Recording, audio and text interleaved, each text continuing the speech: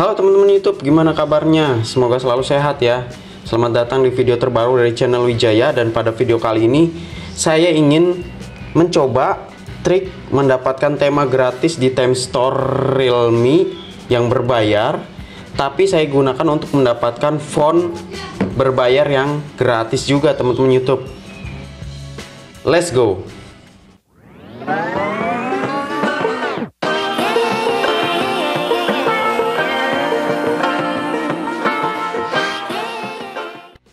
Baik, untuk uh, mendapatkan cara mendapatkannya settingan di time store Realme supaya tema berbayar menjadi gratis teman-teman bisa cek di video sebelumnya atau teman-teman bisa klik linknya di atas ini. Kita buka. Nah ini ada pemberitahuan update dan tidak saya lakukan karena ini akan mempengaruhi cara mendapatkannya secara gratis ya yang berbayar-berbayar. Sekarang kita pilih font-font premiumnya yang berbayar.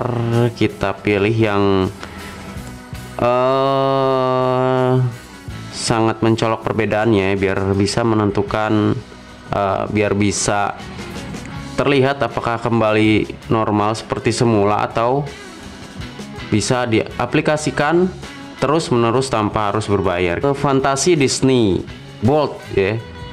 Kita coba menggunakan fantasi Disney Bold kita coba free trial.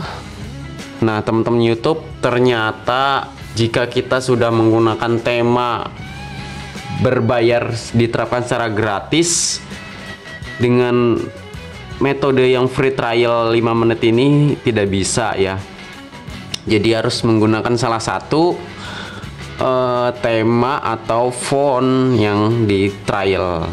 Jadi kita cancel saja ya teman-teman YouTube. Terpaksa kita harus mengganti uh, temanya menggunakan tema yang bukan free trial tapi uh, free memang free Nah, untuk mendapatkan tema-tema semua di Time Store temanya gratis, semua di Time Store temanya gratis, teman-teman bisa meluncur ke video saya yang sebelumnya juga ada. Dan saya sudah menyiapkan satu ini tema yang uh, memang gratisan teman-teman YouTube menggunakan cara yang di video saya sebelumnya. Jadi semua tema-tema di Time Store-nya gratis dengan cara tersebut. Oke, ini saya sudah menggunakan tema yang versi gratis, teman-teman YouTube. Kita kembali menuju ke Time Store. Nah, di sini Fantasi Disney Bolt. Kita coba free trial selama 5 menit ya. Ini sudah mengga udah terganti ini sepertinya hurufnya teman-teman YouTube fontnya. Oke, ini teman-teman YouTube terlihat dari tulisannya kita masuk ke setting ya nah tulisannya udah berubah. Kita tunggu selama 5 menit apakah dari 05 054 berarti di tepat pukul 6 atau 6 lebih 1 ini seharusnya free trialnya berakhir dan kembali normal menjadi font yang biasanya ya jadi kita tunggu selama 5 menit apakah ini berhasil atau tidak.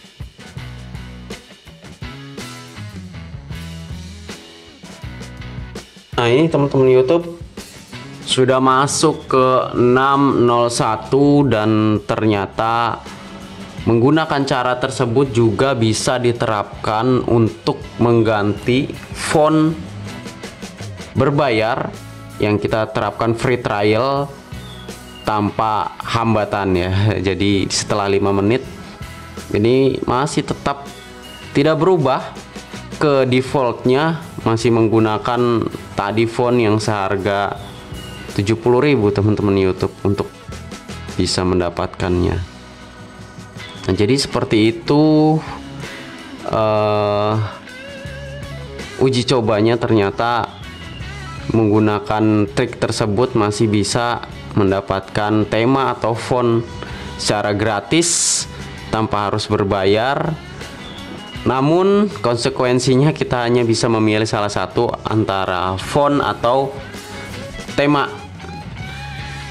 Jadi demikian video kali ini. Semoga uh, bermanfaat. Jika uh, kalian suka dengan video ini silahkan klik like dan juga tentunya bantu subscribe untuk membantu channel ini mendukung channel ini terus memberikan informasi yang menarik dan berguna terima kasih telah menonton dari awal sampai akhir. Bye guys